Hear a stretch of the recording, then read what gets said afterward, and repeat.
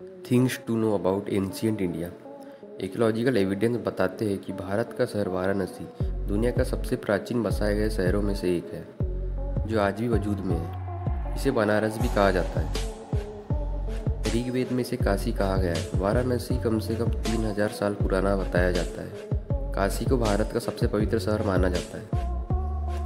Number two Takshashila विश्वविद्यालय। तक्षशिला विश्वविद्यालय दुनिया की सबसे पहली यूनिवर्सिटी मानी जाती है। इसको ईसा के सात साल पहले भारत के तकसीला में स्थापित किया गया था। आजकल ये जगह पाकिस्तान में मौजूद है। तकसीला के विश्व भर के दस हज़ार से ज़्यादा छात्र पढ़ाई किया करते थे, लेकिन विदेशी हमलावर ने तक्षशिला को पूरी तरह नष्ट कर दिया।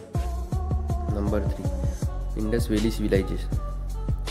Indus valley civilisation के जन्म से ही भारत का इतिहास शुरू हुआ माना जाता है। ये दुनिया की तीन सबसे प्राचीन मान्यताओं में से एक थी। ये सभ्यता बहुत ही एडवांस सभ्यता थी। इंडस वैली सिविलाइजेशन के बारे में ये माना जाता है कि सभ्यता तैंतीस सौ बीसी से तेरह सौ बीसी तक अस्तित्व में थी। लेकिन नई डिस्कवरीज बताती है कि सभ्यता आठ हज़ार साल पुरानी है।